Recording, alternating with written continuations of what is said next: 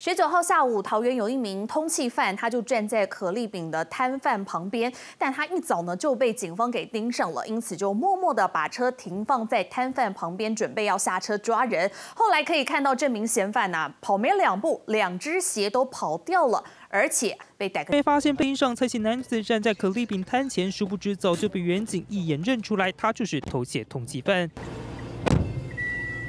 袁警立马逮人，蔡姓嫌犯拔腿狂奔，跑给警察追，跑到鞋子都掉了，也来不及捡，继续狂奔。为了甩开警察，还转进一旁公庙，但即便跑得如此卖力，还是被逮个正着。不要紧，不要紧，不要紧哦，先跑完哦。十九号下午，桃园市龙潭区远警在巡逻时就发现蔡姓嫌犯骑车经过，刻意低头，举止怪怪的。远警等到时机成熟上前逮人，他就马上落跑。哦，那我们最后在他身上取出了两包毒品以及吸食器。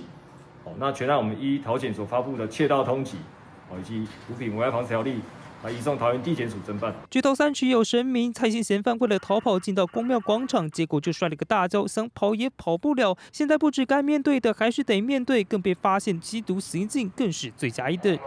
记者夏文燕、谢祥林桃园从报道。